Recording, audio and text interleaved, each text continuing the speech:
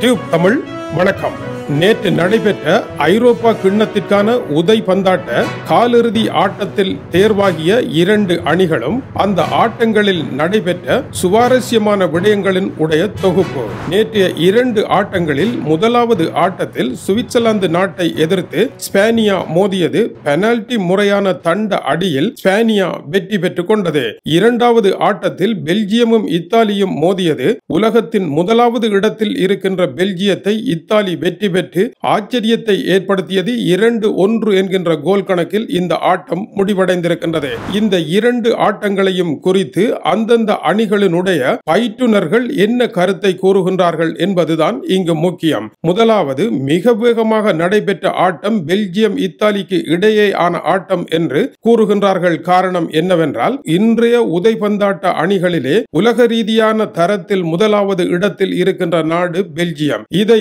எதிர்த்து ஏற்கனவே உலக கிண்ணம் ஐரோப்பா கிண்ணம் போன்றவற்றை வெற்றி பெற்ற சரித்திரம் கொண்ட இத்தாலி மோதியது. இது குறித்து இத்தாலி நாட்டினுடைய பயிற்றுனர் ரொபியாட்டோ மஞ்சினி அவர்கள் கூறுகின்ற பொழுது உலக தரத்தில் முதலாவது இடத்தில் இருக்கின்ற பெல்ஜியத்தை தோற்கடித்ததானது நாம் நமது இப்போதைய தகுதியை நிலைநாட்டி இருக்கின்றோம் என்பதை காட்டுகின்றது. கடைசி பத்து நிமிடங்கள் தாம் மிகவும் களைத்து விட்டதாகவும் இருந்தாலும் அரும்பாடுபட்டு அந்த வெற்றியை சுவீகரித்துக் கொண்டதாகவும் அவர் தெரிவிக்கின்றார். செவ்வாய் செவ்வாய்க்கிழமை வெம்பிளி அரங்கில் இத்தாலியை எதிர்த்து ஸ்பேனியா மோத இருக்கின்றது. இரண்டாயிரத்தி பன்னிரெண்டாம் ஆண்டு ஸ்பேனிய அணி இத்தாலியை நான்கு சைவர் என்கின்ற கோல் கணக்கில் தோற்கடித்தது தெரிந்ததே. இதற்கிடையில் பெல்ஜியம் நாட்டினுடைய காப்பாளர் திபாட் கோட்டோய்ஸ் அவர்கள் கருத்துரைக்கின்ற பொழுது பெல்ஜியத்தினுடைய தோல்வி தனிப்பட்ட முறையில் தமக்கு கவலை தந்தாலும் கூட இத்தாலிய காப்பாளரை இத்தாலிய கோல் காப்பாளரை தாம் பாராட்டுவதாக தெரிவித்திருக்கின்றார். இத்தாலியினுடைய வெற்றிக்கு காரணம் வேக நகர்வு என்று அவர்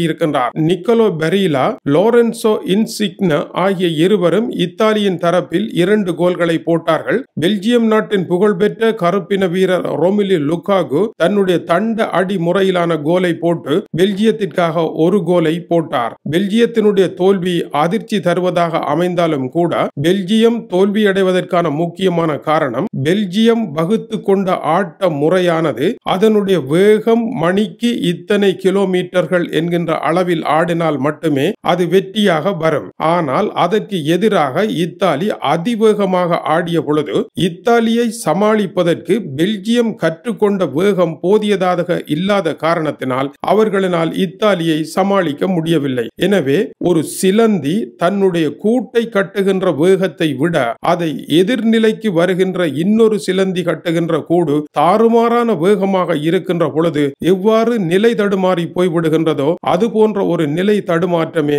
பெல்ஜியத்தினுடைய வீழ்ச்சிக்கு காரணம் என்பதை மேலை நாட்டு ஊடகங்கள் மதிப்பீடாக எழுதியிருக்கின்றன. சுவிட்சர்லாந்து நாடு மிக திறமையாக ஆடியிருந்தது. இருந்த பொழுதிலும் ஸ்பேனியா அந்த ஆட்டத்தை வெற்றி பெற்றது. ஸ்பேனியாவினுடைய பயிற்சியாளர் லூயிஸ் என்ட்ரிக் அவர்கள் இது பற்றி கூறுகின்ற பொழுது இதற்காக தாங்கள் சிறப்பு பயிற்சி எடுத்ததாகவும் நிறைவாக வருகின்ற பெனால்டி தண்ட அடி மூலமான ஆட்டத்தை எவ்வாறு வெற்றி பெறுவது என்பதற்கு தமது அணியினருக்கு சிறப்பு பயிற்சிகளை தாம் வழங்கியதாகவும் அந்த அடி முறையில் தாம் வெற்றி பெறுவோம் என்பது தமக்கு தெரியும் என்றும் பெரும்பாலானவர்கள் இவ்வாறு தண்ட அடி மூலம் வெற்றி தீர்மானிக்கப்படுகின்ற பொழுது அது ஒரு லாட்டரி சீட்டு போன்ற வெற்றி என்று கூறுகின்றார்கள். அது தவறு. அதற்கான கடினமான ஓர் உழைப்பு இருக்கின்றது என்பதுதான் முக்கியம் என்றும் அவர் குறிப்பிட்டார். மேலும் தாம் வெற்றி கிண்ணத்தை எடுத்தால் அது புனை கதையாக அமையாது ஆச்சரியமான ஒன்றாக அமையாது என்றும் தம்முடைய வெற்றி உறுதிப்பாட்டை அவர் தெரிவித்தார். தெரிவித்தார். வருகின்ற செவ்வாய்க்கிழமை இங்கிலாந்து வெம்பிளி அரங்கில்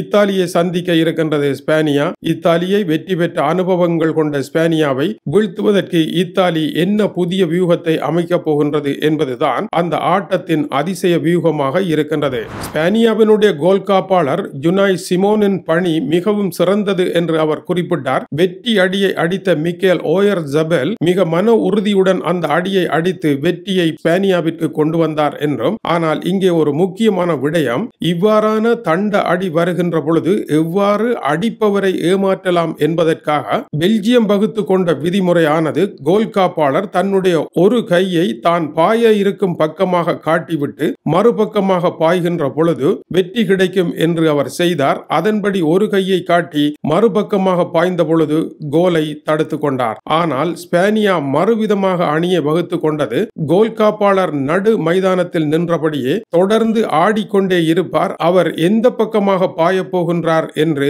கோலை அடிப்பவர் தன்னளவில் கணிக்க முடியாதவாறு அவர் ஒரு நாடகத்தை ஆடிக்கொண்டிருந்தார். அங்கே ஒரு நாடக மேடையில் ஒரு கூத்து கலைஞன் எவ்வாறு ஆடுவானோ அதுபோல ஆடி அங்கு ரசிகனுடைய கவனத்தை திசை திருப்புவது போல் திசை திருப்பியதனால் அவரிடம் கோல்களை அடிக்க முடியாமல் போன நிலைமை ஏற்பட்டது. இது சுவிட்சர்லாந்து நாட்டினுடைய தோல்விக்கு காரணமாக அமைந்தது. இருந்த பொழுதிலும் சுவிட்சர்லாந்து நாட்டில் தமிழர்கள் சுவிட்சர்லாந்து வெற்றி பெறும் இறுதி கிண்ணத்தையும் அது அடைந்துவிடும் என்று கூறினாலும் கூட சுவிட்சர்லாந்து நாடு ஸ்பேனியாவுடன் இவ்வளவு திறமையாக மோதியது பாராட்டப்பட வேண்டிய விடயம். ஏறத்தாழ சுவிட்சர்லாந்து ஸ்பேனியாவிற்கு இடையே நடைபெற்ற ஆட்டம் ஐரோப்பா கிண்ணத்தின் இறுதி ஆட்டம் என்று வர்ணிக்கக்கூடிய அளவிற்கு அது சிறப்பாக அமைந்தது. அதை போன்ற ஒரு சிறந்த ஆட்டத்தை இறுதி ஆட்டத்தில் தர முடியுமா என்பதும் சவாலாக இருந்த காரணத்தினால் தோல்வியடைந்தாலும் சுவிட்சர்லாந்து வீரர்கள் பாராட்டுக்குரியவர்களாக அமைகின்றார்கள். இதுபோல தென் அமெரிக்க நாடுகளில் நடைபெறுகின்ற கோபா அமெரிக்கா ஆட்டத்தில் பிரேசில் நாடும் சிலி நாடும் மோதி நேற்று பிரேசில் அரையிறுதிக்கு தேர்வாகி இருக்கின்றது ஒன்று சைபர் என்கின்ற கோல் கணக்கில்.